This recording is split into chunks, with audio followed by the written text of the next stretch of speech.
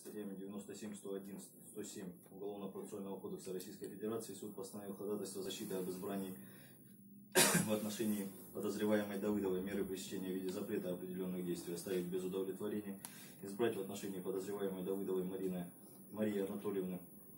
Меру пресечения в виде домашнего ареста сроком на 1 месяц 29 суток, то есть по 17 февраля 2020 года включительно. Местом содержания под домашним арестом определить домовладение по улице Фурмановской, дом 56 в городе Ростове-на-Дону. Установить Давыдовой следующие запреты. Общаться в любой форме с использованием любых средств связи, в том числе сети интернет, со свидетелями по уголовному делу, иными участниками производства, имеющими отношение к данному делу, родственниками указанных лиц, а также любыми иными лицами без разрешения следователя, не иначе как в ходе проведения следственных действий по настоящему уголовному делу, за исключением общения с близкими родственниками, предусмотренными статьей 5 УПК, в том числе с лицами, проживающими на законных основаниях в жилом помещении по адресу улица Фурмановская, дом 56, либо общение со своим защитником по данному